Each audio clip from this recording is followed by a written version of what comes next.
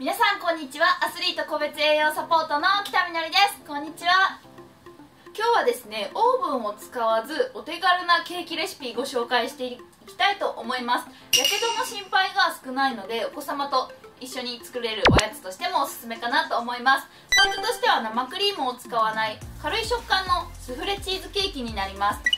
脂質もねあの少なめになるのでぜひぜひおすすめです。では早速作っていきましょう。ヨーグルトを使ってシュワシュワっと軽い食感が特徴の米米粉スフレチーズケーキです。初めてでも OK なスフレチーズケーキ作っていきたいと思います。材料はクリームチーズ 120g ヨーグルト 100g 卵2個甘麹 60g 米粉 20g お塩は1つまみです。海塩でミネラル補給をしましょう。下準備として炊飯器の内釜に油を塗っていきましょう。では早速作っていきます。卵を卵白と卵黄に分けます。ボウルにクリームチーズを入れてヨーグルト卵黄米粉甘麹を加えて混ぜます。滑らかになるまで混ぜておきます。卵白に塩を加えてハンドミキサーでほぐしましょう。角がお辞儀するくらいの硬さにしましょう。今回生クリームを使わずクリームチーズとヨーグルトを使うので脂質を控えられますね。お塩に使っている肝炎はミネラル豊富なヌチマースを使っています。これから多くの汗をかくアスリートチリツモのミネラル補給もしていきましょう。選手たちがこれを見て作りましたというお声をよくいただき大変嬉しいです。パフォーマンスアップの一助になれば嬉しいですね。もうすぐ夏目前になってくるので今のうちから体を整えておきたいですね。夏戦うためには今の季節がとても重要になってきます。さて先ほどクリームチーズを入れておいた。ボウルに作ったメレンゲを3分の1ほど取って泡立て器でぐるぐるとかき混ぜます。メレンゲをさらに3分の1取って泡立て器でボウルの底からすくうように混ぜましょう。ヘラでもいいですね。のの字を書くように混ぜていきます。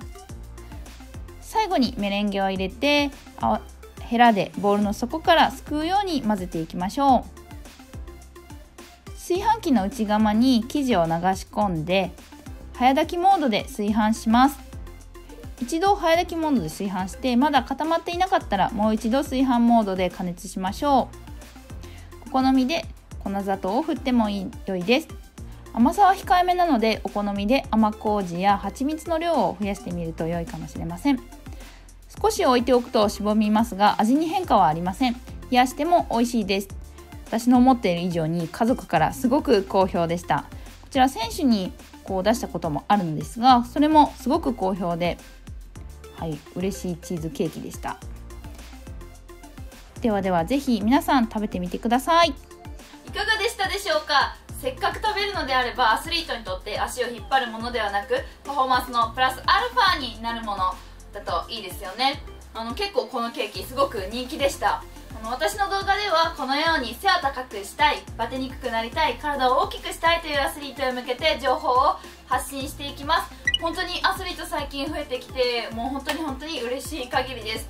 でお悩みについてですねもっと詳しく知りたいという方は説明欄に LINE の追加方法があります。そちらに行っていただくと限定のセミナーやイベントの情報が届くようになっているのでぜひ興味がある方はそちらに行って学んでいただけたらなと思います。あとはですねこの動画がちょっとでもいいなと思ったらコメントと一緒にいいねボタンとチャンネル登録ぜひよろしくお願いします。まだされていない方本当にいろんな方登録していただいてありがとうございます。嬉しいです。お一人お一人見ています。ちゃんと。またね次の動画でお会いしましょう。北みのりでした。